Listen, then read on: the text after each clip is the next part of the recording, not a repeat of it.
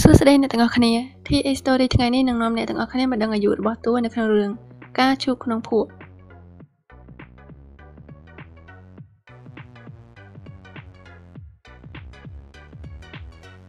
ឃឿនកានីនអាយុ29ឆ្នាំ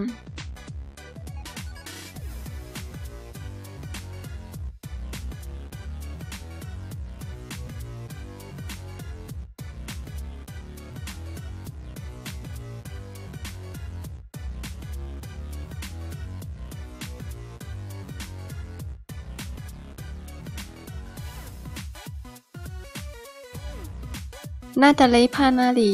អាយុ22ឆ្នាំ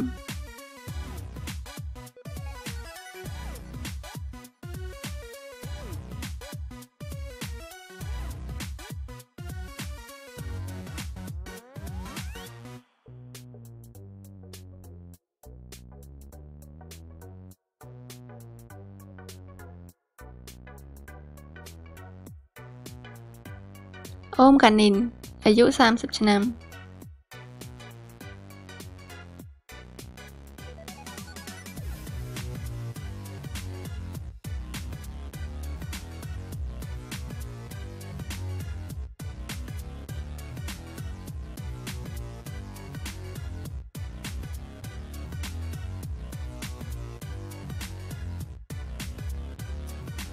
កែបឆនុកសូដាអាយុ25ឆ្នាំ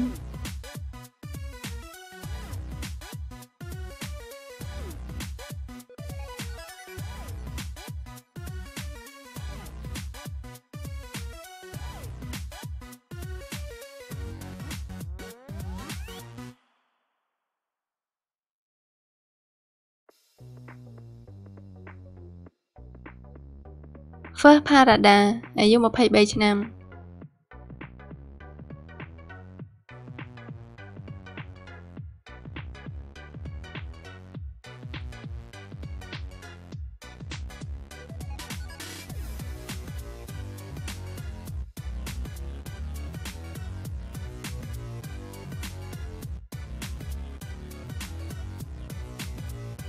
ខេតនីឆារ៉ាត់អាយុ22ឆ្នាំ